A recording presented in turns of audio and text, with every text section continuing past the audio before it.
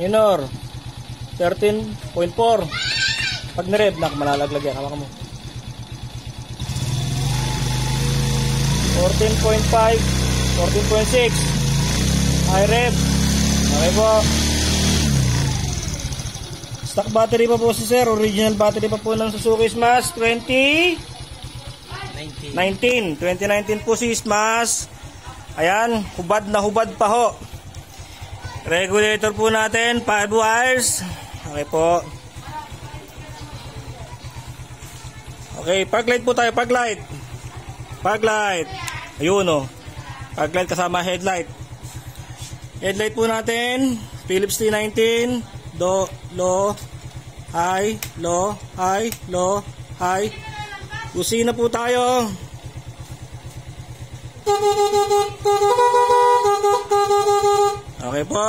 Hindi po ating gawa yon. Taillight, park light. Na, kamay. Preno, kamay. Meron pa. Okay, placer kanan. Placer kanan. Kaliwa yan eh. o yan, nag-hazard na. Okay, kanan, kaliwa, okay na po. Sige po. Okay. Bukas po tayo ng headlight. Nakikita nyo, minor po tayo ng 12.9. Pakibukas po sir ng MDL. Ayun, hindi pa po tayo nakakabit. Nakabukas po MDL. Minor po tayo ng 12.5. Okay po. Okay sir, bukas po yung hazard nating stock valve. Yan. 12.4, 12.3. Sa minor po, nang nakabukas po lahat ng load. Wala pong underlights. Asag. Uh, MDL.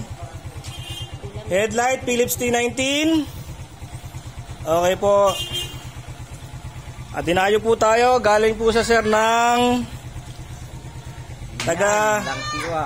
taga Binyang po, taga Langkiwa. Pangalan po sir na may-ari? Milo. Okay. Ah, maraming salamat po sir sa tiwala at God bless po. Thank you. Salamat po.